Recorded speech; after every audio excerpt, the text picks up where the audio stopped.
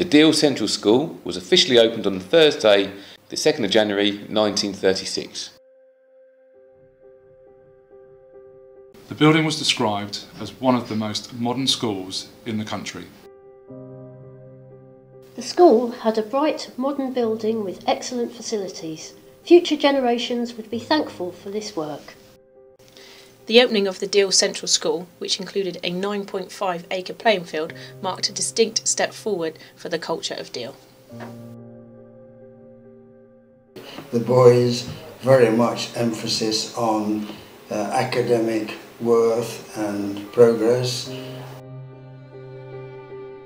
No interest in um, pupils of lesser abilities, no remedial classes, no extra resources put into um, helping pupils who needed extra help.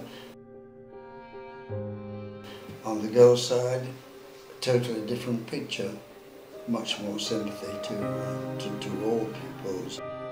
Here, a great deal of um, support and um, resources devoted to those, the most intelligent pupils who were going to get uh, O levels maybe, and therefore produce a lot of kudos for the school.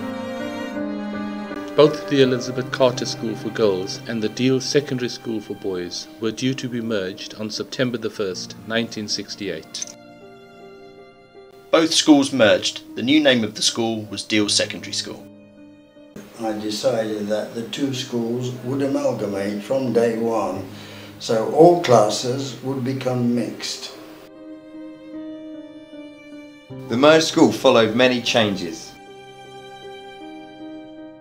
Only senior management were allowed to enforce physical punishment to students. The Parent Teacher Association was created. And extra activities such as motor maintenance were introduced. In the 1970s, the technology block and the Lawton block were built to hold extra students.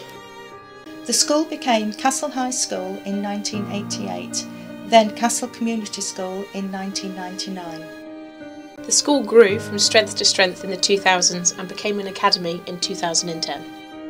The school amalgamated with Walmer Science College in 2013 and was renamed Goodwin Academy in 2016. And we continue to write history as we move into the new school building in the summer of 2017. Caring. Caring. Vibrant. Passion. Everyone. Exciting. One of a kind. Community. Experience. Amazing. Special. Family. Family.